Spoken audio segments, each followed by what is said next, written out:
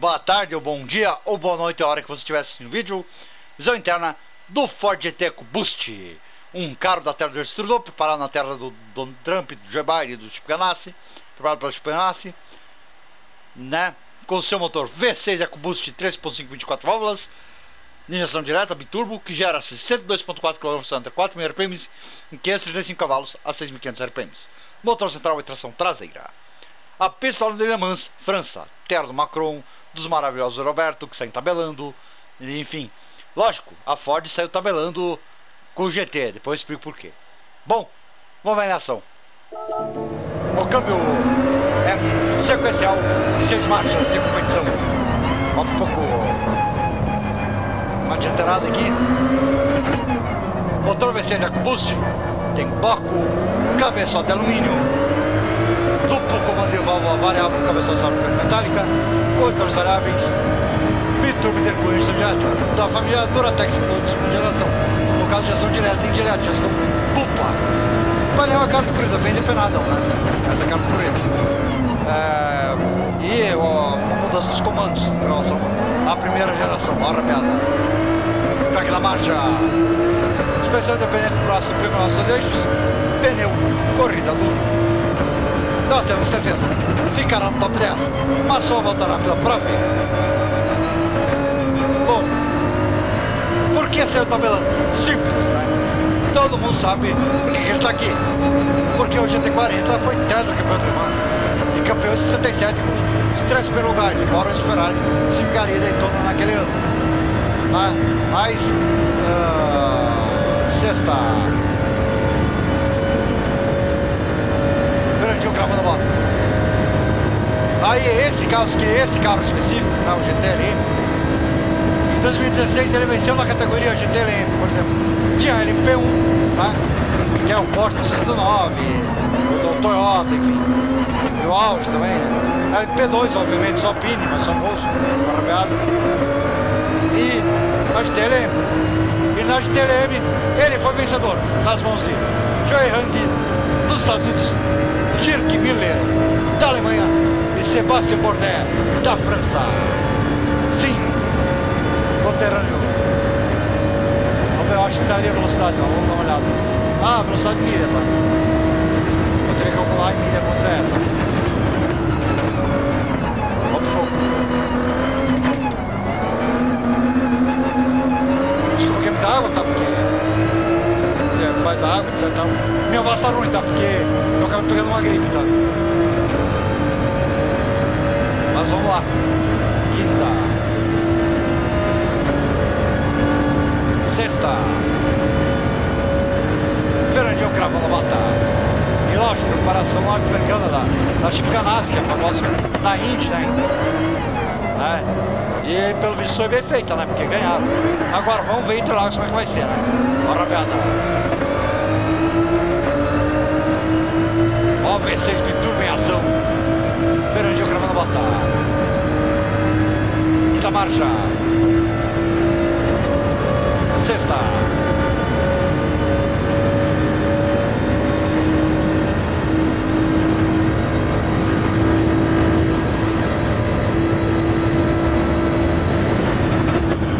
Quarta.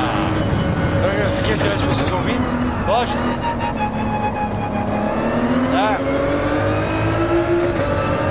Só pela história tem que estar aqui, né? Então, Ford até com Boost LM, né? Que é o de Le Mans. Que é equivalente ao GT3, né? Deve ter um problema exclusivo mas Le Mans Series, no caso. Mas é o GT3. É, grosso modo, é, é o GT3. Lógico, pode ter um detalhezinho outro. Sexta. A.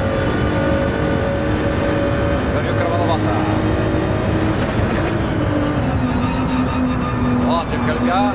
Lembrando que tem a besta. Aliás, próximo norte-americano Le Mans também, né? Aguardo. É, Jorge Antrão, uso inspirador.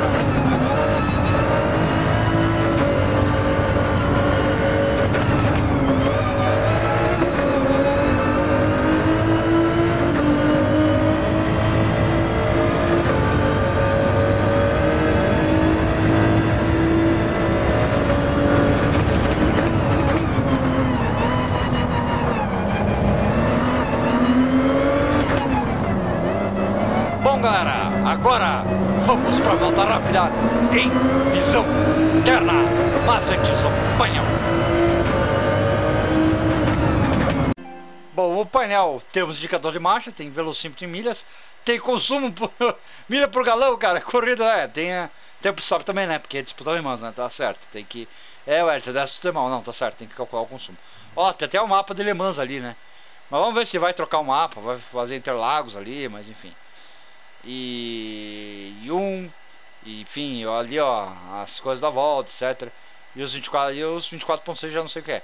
E o velocímetro, e o volante, né? Grande corrida e tem até um, uma câmera fazendo papel de espelho retrovisor. Que nem o, o Valkyrie, né? Bom, galera, agora vamos para a volta rápida em visão interna. Bom, galera, agora volta rápida visão interna com Ford GT LM EcoBoost com alcance motor V6 3.5 válvulas biturbo direta, seu V6 EcoBoost, seu 62.4 torque, seus 535 cavalos na pista, seu câmbio sequencial de 6 marchas, seu motor central e sua tração traseira. Bom, nós temos certeza, ficará no top 10, mas já adianto que ele foi além, superou a expectativa aí, galera. Foi um tempo muito bom. Bom, vamos ver em ação. O peso é 1.200 quilos. Ó, agora que eu vi. Ó, pouco. Bora, Beda. Subindo o café, o V12 intervalo. Terceira, Fernandinho Borboleta. É o sequência de corrida. Quarta. Quinta. Fernandinho cravando a bota. Vamos ver depois quando ele chegou no final da reta, né? Mas aí. Aí, ó. Redução de marcha, né? Essa cena carros automotoristas se complicam, né?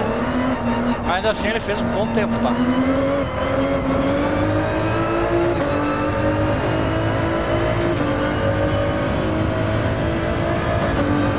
Perdi o cravo na batalha, reta oposta, quinta marcha.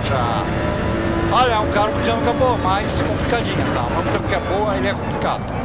Porque tem a questão da... Olha, merda, tem a questão de ser um carro de corrida. Terceira, Estamos esperando a gente que dar a segunda volta com ele, porque rodou na primeira, tá? Quinta. Agora vai pro parejão do Pinheirinho, no Egito do Mato. Uma rabiada. Complicou o carro. Né? E aqui a alta potência foi um complicador para ele, infelizmente. Esperadinho gravando volta, esperando.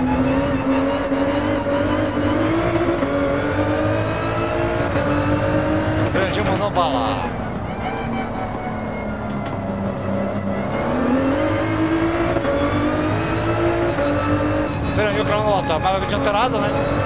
Lógico, é um V6, lógico. Um V6, se vocês ouviram o V6 é com, com uma marcha. Até porque é um cara de corrida, né? E aqui, ó, cena ele foi bem. O café, o V6 foi muito bem.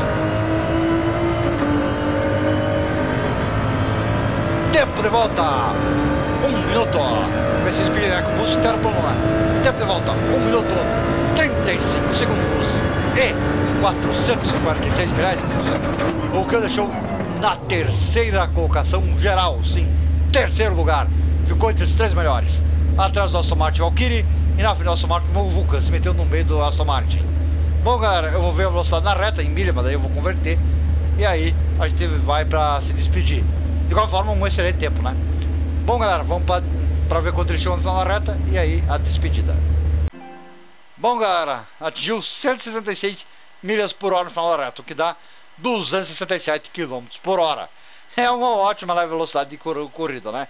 40 mais qual o TT Cup, lógico é a categoria inferior, né? Mas só para vocês terem uma ideia. O TT, o Odd 4, não sabemos quanto que foi, tá? Então é difícil, tá? Mas de qualquer forma, é uma ótima. Ele fez uma volta, uma ótima volta rápida por aqui. Pena que o mapa não tá no só Le Mans, sempre o mapa de Le tá? Mas enfim, galera. Até porque é um desenho, né? Então não tem como mudar, tá bom? Bom, galera, é isso. Se gostaram do vídeo, dê aquele like básico. Até a próxima.